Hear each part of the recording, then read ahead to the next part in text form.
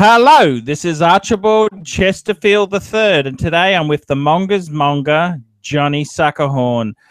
And today we're discussing the cheapest way to get bar girls. Cheap is important because, let's face it, fuckers, you miserable, nasty, vinyl, cheap cunts haven't been donating much, and I want to get bang per buck. I want bang per buck. I want bang per buck, Johnny. I am going there. I've got a budget I got a budget of 900 baht a fuck. Is that possible, Johnny? 900 baht a fuck. Yes or no? Uh, not impossible. Not in, not impossible, but for a thousand thousand baht, the extra, you know, the extra hundred baht, I'd say, you know, definitely got a chance, without doubt. Now, without Johnny, doubt. a good friend of mine in Bangers, he used to go to the night, the the the the, the uh, the go go bars, and he'd say, "Honey, you're beautiful. If you want to come back to my room, here's my. I'm staying at the such and such hotel, the Nana, room yeah. number two one seven. He'd write it on a piece of paper. Come anytime you want. Five hundred baht instead of nothing. If you get a customer, don't come. But if you if you uh, don't have a customer, 500 baht and uh, he used to have about two or three of them a night. Sure, sure. Yeah, they'll they'll finish with one and they'll go and ring him up, won't they? That's like, it. Yep, exactly. Why sleep alone, it. Johnny? Why sleep alone? As you yourself have said, why sleep alone? Why sleep alone, Johnny? No, no point sleeping alone, is there? Um, that's not so much what you know I say, but uh, that's uh, definitely what Thai girls say to you you know, you know what, you know, why would you want to sleep alone? You know, they'll sleep next year. That's for sure. That's right. Sure. Now, Johnny, I wanted to ask you, uh, what etiquette should you have there? Um, well, as far as picking up, you know, paying the cheapest prices, you know, some of the price involved is um, paying a bar fine and buying drinks. So you've got to pay, say, a 400 baht bar fine and a couple of drinks. And if these drinks are, what, 250 baht now, you know, that's 1400 baht. You know, and uh, then you've got to get a taxi. That might cost you another 100 baht, maybe. So that's 1500 baht to get back. And, you know, you know and uh, if it's a short time room you're going, you know, going to, that's another four or 500 baht on top. So that's 2000 before you've given her a cent. Yeah, really. I wanted to ask you, what do you think about the older women? I know in the the Huntsman's Pub, that's the Landmark Hotel, has the Huntsman's Pub. There's some older women who frequent down below looking for punters. Any good? Yes. What uh, would you uh, think of, of a an older woman? Is it worth it or not? Older working girls you're talking about. Of course, Johnny. Yeah, right. Yes. Well, um, well, it depends what, we what we what are we calling old? 55, 60, Johnny, your age. Uh, oh, that's a little bit. Oh well, um, I could introduce. Be honest with the viewers, Johnny. You don't need to lie. We've only got seven seven of the cunts watching. Uh, I could introduce you to a, a, woman who's older than me. She's six, 61. She's older yep. than me. To look, to look at her, you wouldn't think she was, you know, a day over 35 you know, if you looked at her body, you know, so um, uh, her appearance is extremely, you know, deceiving, you know, but um, not many, you know, you know, keep keep themselves in trim and check like she, you know, she does. You know, she's now, Johnny. Uh, what do you think of growling these women out? Would you be hesitant in growling out working girls? I'm not. I'm not hesitant one one bit. I, I find a girl, working girl, you know, often cleaner than a, a, girl who's not on the game Thailand. They've got to be clean. You know, a Thai working girl will wash, you know, before and after. You know, you've been in bed and you know, you stop long enough, even during, you know, they'll jump in the shower and you know have a quick, you know, you know, quick wash and jump back in the bed for you. Johnny, I wanted to ask you: Is it important, Johnny, uh, what manners should you have for these girls? A lot of these guys here, we- we're attracting a bad element. I want to teach these guys some manners. What general manners do you have to allow for more fulfilling entertainment? Oh, I I treat them like a human being and a lady, not not as a, you know, like I don't care what they're doing. If I'm, I'm with them, you know, you know I'd, I'd like them, you know, to act as a lady. yourself. I'll, open up a door for them, or you know, be courteous and offer them a drink or a cigarette, or you know, have good manners in front of them. You know, don't like to swear, you know, in, in, in front of a woman, you know, not necessary but just to be polite and good manners. You know, you know, pay you know some nice, simple little compliments. You know, got nice dress, or you know, I think you're beautiful. And Nice you know, tits. sorry. Yeah. nice tits. Yes, they've got you know. Say yes, say they've got you know nice body and all that. Why not? All women like like to be paid compliments. Everyone likes to hear a compliment. But treat them as a lady. Like uh, it's very simple. As soon as you know, say you got to go somewhere by taxi, you know, you, you jump in the back seat and you open up the door for them. Let them get in first, and you jump in the back seat with them. You know, you, you can sort of kick off in the back seat, can't you? Would you be eating with them before or after the act? You don't have to eat with them. You don't have to. You know, that's not compulsory. It's um, you can offer them a feed. They may accept it. More more than likely, they will. I suppose it depends if you're hungry, Johnny. Well, of course, if you're hungry, it's more fun eating with someone than eating by yourself. So you- you'd, you'd offer them food. Thai girls appreciate that.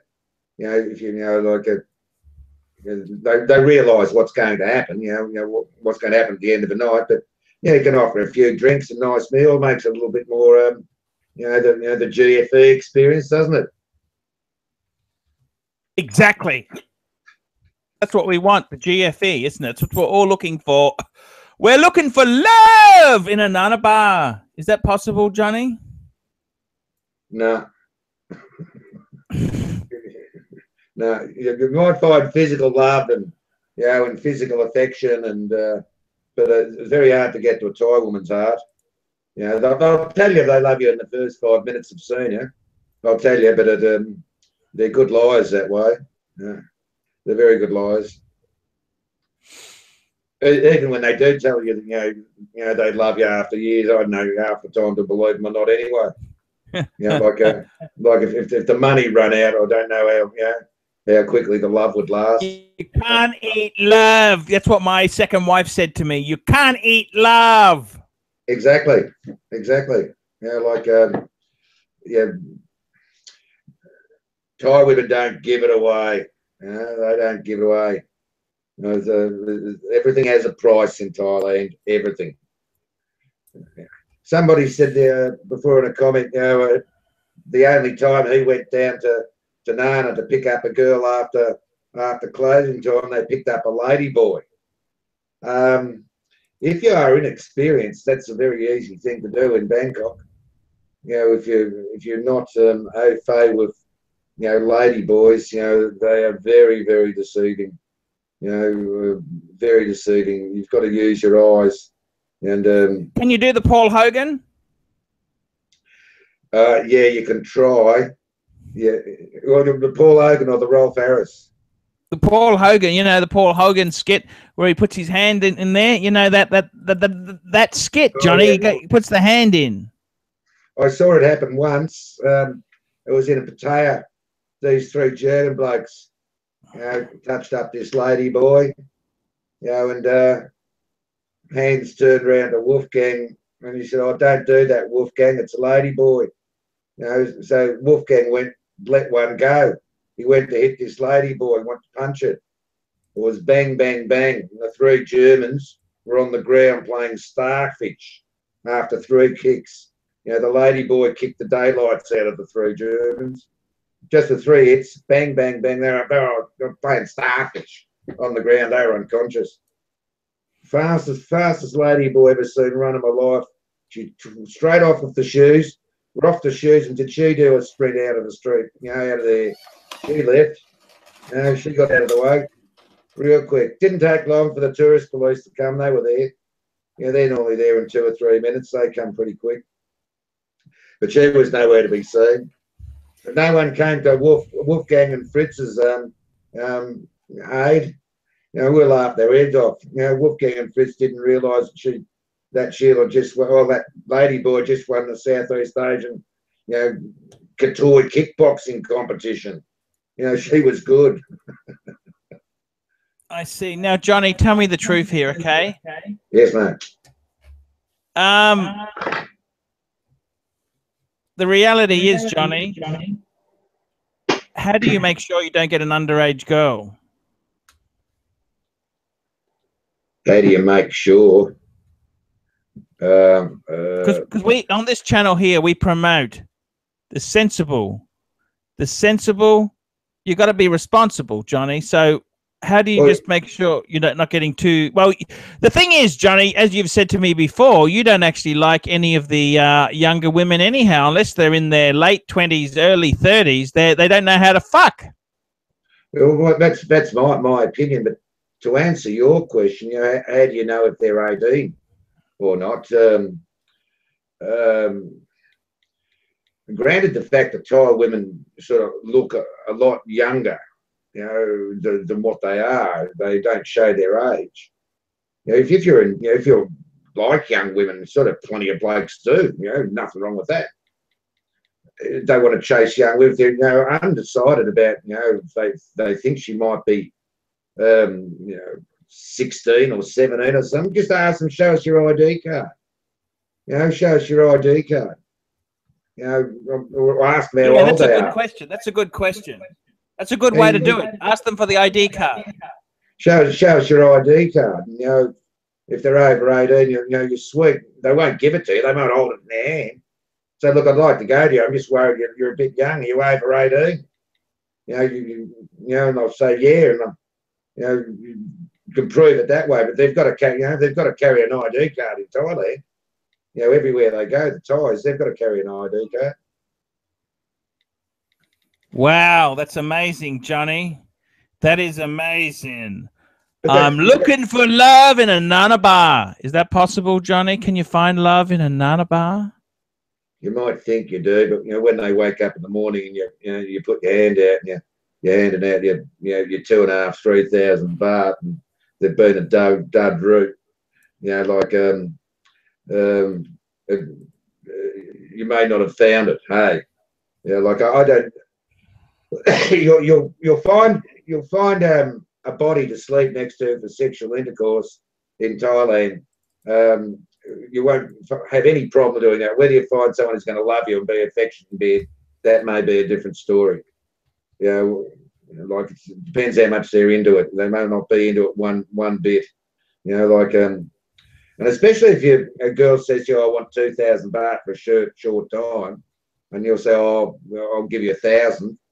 You know, and, and you know it's late at night. You know, you're both tired. And, you know, like she's not going to turn it on as you know as much as if someone's going to be paying her, you know, two, three, four thousand baht, is she? You know, she's going to be you know in and out as quick as she possibly can. So you To know, get after- 2,000, what about 900 baht, Johnny? We discussed this before. I'm sure you do it in Pattaya without any problem at all. You do it every day of the week in Pattaya. Because we want bang per buck, John. We don't want. We don't want. Um, You'll bang for buck. Well, you're more than likely to get bang for buck with an older chick than, than what you are, know, a younger a younger one. If they're young and attractive, they, they've got their choice of, of, of who they go with. If they're a bit older and they're not as popular, you know, maybe there's not you know as much choice for them, so they'll go with you know the first bloke they come with. I rarely see, I've rarely seen Thai Sheilas knocking knocking black blokes saying, "Oh, look, I won't go with them." You know, they'll, they'll go with you. But you know, that suggestion before, you know, meet two or three girls during the day who or working girls. You know, if, if you don't get a job, ring me up. You'll get a phone call during the night for sure. yes, you like that idea, Johnny? I've used it myself. I've used it, you know, used it myself before the days of mobile phones, you stand with a piece of paper. You, you take, you know, you know, ten cards from your hotel out. Just write your room number on the back. You know, you know, say put different times there, two, three, four o'clock.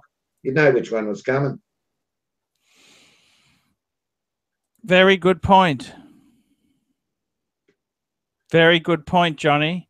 But that's been going on for years. That's you know, and you can see why blokes want to avoid you know the bar fine to take them out of the bar. You know, it's the bar fine plus your drinks. It's always going to be an extra thousand, two thousand baht on top of that. I'm paying the girl if you're pulling them out of the bar. You know, that's par for the course. Exactly, Johnny. That's how the economics of the bar works, isn't it? That's why Patpong at 250 baht a fucking drink. They're out of their fucking minds. What do you think about that, Johnny? I can't understand it. You know, like uh, normally the price for a beer in Patpong over the years has been 160 baht, 180 baht, you know, expensive.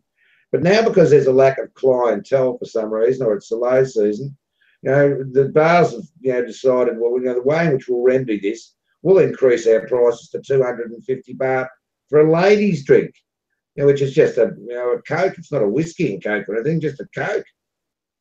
So, so um, right. yes, so you, you're paying this, you know, extra money. You know, well, that's how the bar thinks they're making up. You'll you'll find you'll find the next thing the bar fines will go up next. You know, the bar fines. You reckon? Yeah, that, that'll be it'll be eight hundred baht to take them out of the bar now, or a thousand baht to take them out of the bar. And and they think they're going to get the business still. That's what they think. I can't work the rationale. It's, you know, it's certainly against any sort of nature of economic theory I've you know I've ever accustomed to. You know, you increase the price when there's you know a lack of demand. You know, beat, beats logic. Yeah, it's Thai logic, all right. You know, you know, if business is going bad, you know, if business is going bad, I'll, I'll, I'll buy a whole lot more stock and increase the prices. Yeah, great idea, isn't it? Yeah, but that's how they work. I'm getting our business going bad. I'll get a whole lot more stock, fill up the shelves of stock, and uh, we'll increase the prices on everything. You know, that'll work. Yeah, I, I can't figure it myself, but that's what they're doing. That's what they're doing. Yeah, that like I was telling you the example, you know, the money they make out of the bars, you know, from a, a, a large bottle of Coke, you know, which costs them, you know, 60 baht, you know, for a two litre, you know, bottle of Coke, they generate two and a half, three thousand baht, you know, out of one bottle of Coke. Well, that's not bad from two dollars, you know, three dollars to make a hundred dollars out of a bottle of Coke. That's um, that, that's good. I wish I was in it. Yeah, it's good job just selling coke, isn't it? Exactly. That's that's uh that's crazy. Well, that, that's what they, you know, they're selling in the bars, and that that bar I'm talking about, that that's got the cheapest drinks in back in in Patpong. but has the cheapest drinks. Right? So God, so God knows what they're making in the you know in, in the other ones. Yeah, yeah. It's an interesting statement there for from King B. He said, uh, you know, like we say, oh, it's a hundred dollars Australian. You know, and King B says, you know, a hundred dollars, you know, Australia is not cheap for a fucking a third world country. And and that that's true. But it might be cheap by our standards. You know, you could say it's cheap by our standards, but it's you know, it's not cheap in a you know, third world. You know, it's not cheap in Thailand. You don't see that many Thai men you know, not, not every time ends paying two, three thousand baht for a short time. You know, that, that's what the girls are asking. Two or three thousand baht? You're out of your fucking mind, aren't you, Johnny? Well, it's not my out of my mind. That's what they're asking. You know, they're out of their mind. Jesus Christ, that's expensive, Johnny. That's Western world pricing. Well, it is, isn't it? You know, that's what, you know, some pretty young little honey who'd have tickets on herself, that's what she'd be calling, wouldn't she? That's what she'd want. Ooh, that's mean, John. I don't think you'll have too much problem. You'll find something, Paul. You know, you, you, you'll find them. There'll be, you know, plenty waiting outside Nana and the Majestic Suites that you know, haven't got a job at 1.30 in the morning and, uh, you know, they need to get home, need the taxi fare home, mate, you'll find something. Yeah, I think you're right, Johnny. Johnny, anything else you want to add to this? We might wrap it up and call it a night, John. That's been fantastic. It's been great No worries, having mate. you here. No worries. Oh, Pattaya Bars is on, Paul. Yeah. Looks like Pattaya Bars, which is, oh, he's been here for a while. He's Was saying, uh, what, what I heard is Pattaya is 150 baht a bottle. You know, that, that's not bad. You know, 150, you know, you, you pay a lot more in Bangkok for a beer than 150 baht. Yes. Yes. Yes. That's a good point.